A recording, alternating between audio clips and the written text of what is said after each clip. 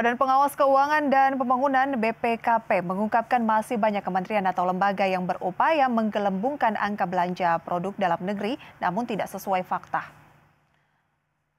Berdasarkan hal tersebut, BPKP mendorong kementerian atau lembaga untuk tidak melakukan upaya manipulasi angka penggunaan produk dalam negeri sebab sejatinya program peningkatan penggunaan produk dalam negeri ditujukan untuk memberikan manfaat yang besar bagi ekonomi.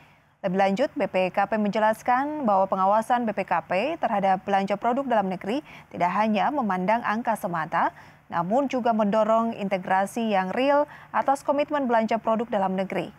Untuk itu, BPKP menilai upaya pemerintah untuk mendorong belanja produk dalam negeri melalui belanja rutin pemerintah pusat, Pemda, dan BUMN harus terus diperkuat.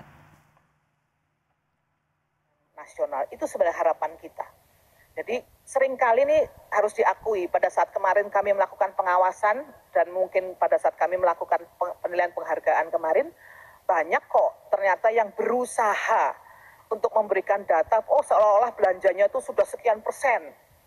Padahal setelah kita uji, setelah kita sampel bagaimana kontrak-kontraknya dan sebagainya, nggak sesuai seperti angka-angka yang mereka tampilkan. Itu yang kami nggak pengen.